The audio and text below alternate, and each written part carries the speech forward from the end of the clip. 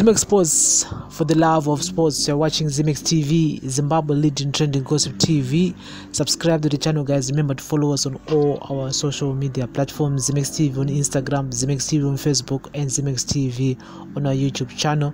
Welcome to another edition of uh, Ximex Sports for the love of sports. And so, guys, uh, January two months from now, uh, yeah, two months or so, uh, Zimbabwe is going to AFCON uh, 2022 and uh, we're really really really like uh, excited about this and uh, but under the age uh, we're a bit worried because mawarriors edu ka haasi kunyatsotamba mushe bhora iri anika these guys are not scoring. These guys you know are giving us you know mabutterflies kuti aomana every time patinosapota kwaomana chaomana dai mawina aomana eh, they always give us uh, disappointment and so the warriors team is expected to leave early for the afcon 2021 to be held in cameroon. The national team will feature in the tournament scheduled for january 9 to uh, february 6 2022 in cameroon foreign based players in the squad for the competition could start arriving for camp before christmas france and south africa based stars will arrive early soon after finishing in their last round of fixtures before their leagues break for the festive seasons uh, in uh, December 2022. The England-based contingent will join the camp later, soon after their Boxing Day's fixtures, but all selected players must report for duty by December 27 according to FIFA rule. Players must be released and start travel to their respective team no later than Monday um, morning, uh, the week preceding the week when the relevant final competition starts. The squad should then leave for Cameroon at least 10 days before the tournament to accommodate coronavirus testing and quarantine if needed.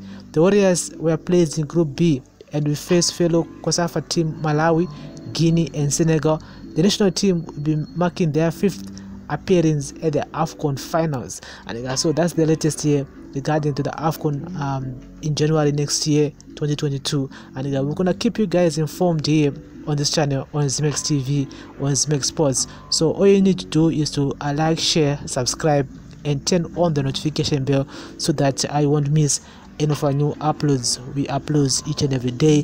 Do you think we can beat uh, Senegal on our first match?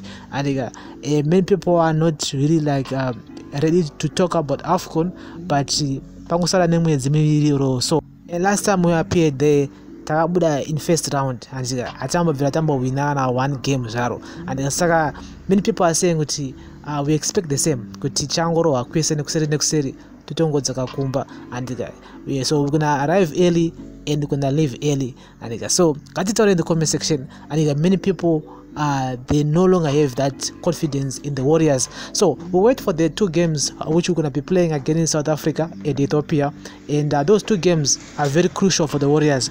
kuti tinyatsoona kuti timu yakamira papi chii uh, chiri kunyatsoitika and what's the way forward so guys we'll keep you logged here on ximex tv on ximex sports. So thank you very much for listening and watching. Remember to like share and comment.